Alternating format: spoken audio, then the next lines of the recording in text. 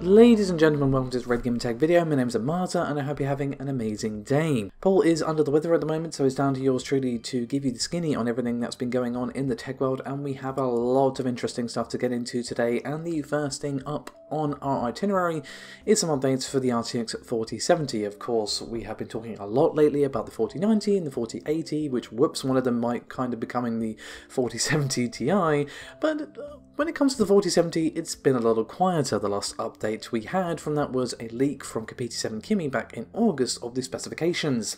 And now we have a very interesting update from them, as they have tweeted we won't see the original RTX 4070 AD104. So let's dissect that for a moment. I'm going to tell you what my personal opinion is as to what this means. On screen you'll see the tweet from August that I previously just mentioned and essentially he's saying here that the two possible specs for the 4070 were a 12GB variant and a 10GB variant. Now obviously there are more differences here than just that but I'm going to focus just on the memory just for the moment. So what I think he's saying with this tweet is that we will not see the 10GB SKU release. Instead, it will be the 12GB SKU, which again has that 7680 FP32, 21GB PS GDDR6X, and a total car power of 285 watts, uh, Time Spy Extreme score of roughly 11k.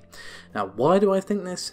Now, before I go any further, I just want to say that what I'm about to say is speculation, it's an educated guesstimate, I guess you could say. It's not based on anything our sources have said.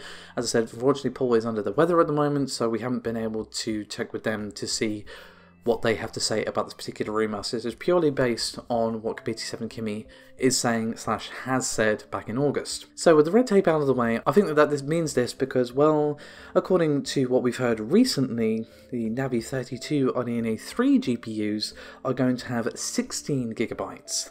So you can kind of imagine that Nvidia might look a little silly and have a bit of pie on its face if it released a 4070 with only 10 gigs next to RDNA 3's 16. Now again, this is a pure educated guesstimate, not based on any inside information other than these tweets, so obviously pinch of salt TM is definitely required, but it would make sense based on the recent information that we've heard regarding Navi 32 that Nvidia are feeling the pressure and have decided to release the higher spec SKU for the 4070 in order to remain competitive in this space. As I've said a billion times, I'll probably say a billion more, this is a really important like performance and price bracket for both Nvidia and AMD because as much as you know the flagship GPUs are exciting with their cutting edge performance and features and ray tracing and all the rest of it, this is where they make the bulk of their sales.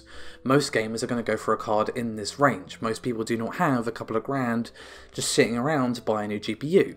So obviously it's very important that they are competitive with each other.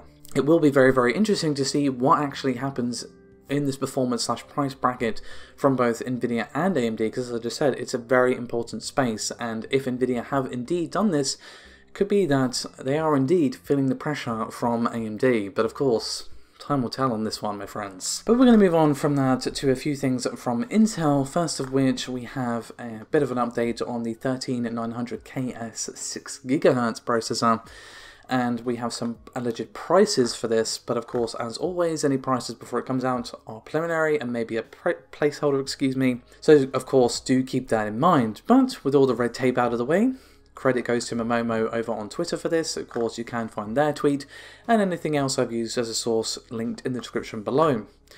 So, what they're showing here is that the 13900KS, which incidentally is a name not yet confirmed by Intel, but obviously is very in line with what they've done before, we can expect a 22% price increase in comparison to the 13900K at the same store. But this is Intel's first consumer desktop processor with 6GHz out of the box. Now we are fully expecting this particular SKU and a couple of other things to be launched at CES next year in January to be specific, so obviously it's not all that long to wait, which feels insane to say, like where has this year gone?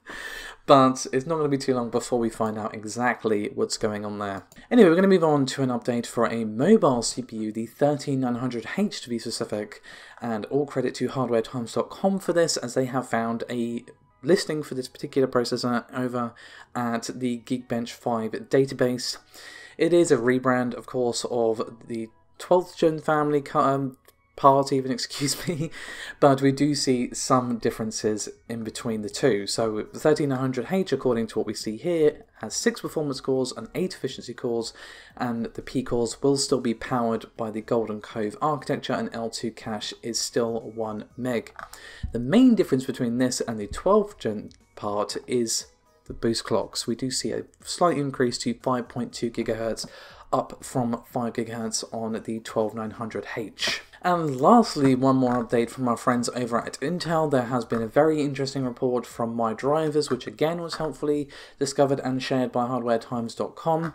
And according to what MyDrivers have found, we can expect the Meteor Lake processors to begin production soon. Of course, we'll be the first to leverage the 4nm process node. Just a reminder, according to official estimates, the 4nm node will improve the performance per watt by 20%, and mass production is already underway of the 4nm node. However, However, for the Meteor Lake P processors, which of course again is the 14th generation, we are going to be seeing a late 2023 launch in limited volumes and again we are expecting production of that to begin soon.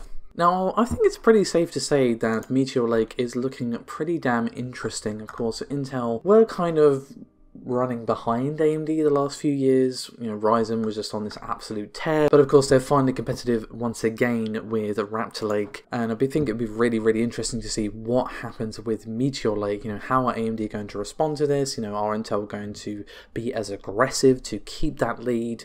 I mean, I would certainly hope so because, as I myself and Paul have said a thousand and one times at this point, more competitive between more competitiveness, excuse me, between AMD or Intel or whoever. It could be between Bob and Steve. It doesn't matter.